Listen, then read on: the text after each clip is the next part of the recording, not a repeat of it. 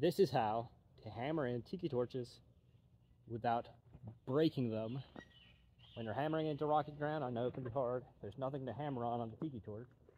So what you're gonna do is you're gonna find yourself a little two by two or a one by one or a, ideally something that's not the tiki torch. And you're gonna hammer that in first, all right? So here we go.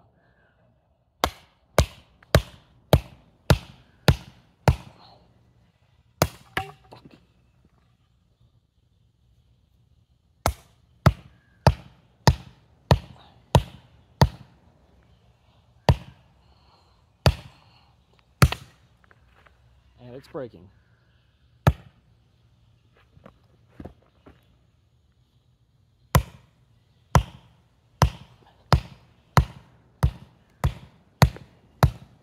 All right.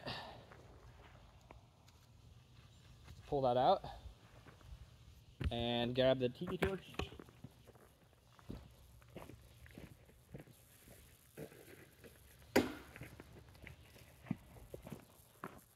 All right.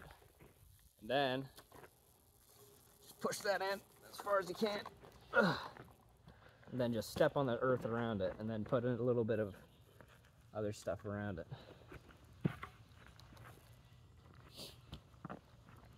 And boom.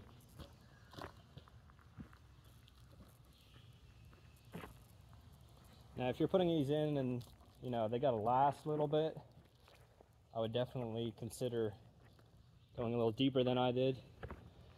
As you can see, I probably went in about four inches with a stake, and uh, you can call it a pre-drill if you want. I don't know what to call it, but uh, yeah, I'll go in a little bit further than I did. And yes, it is gravel, so it's kind of hard to bang in without pre-drilling, as you might say. So uh, thanks for watching, and hit that big fat like, fat thumbs up, and uh, subscribe if you haven't already.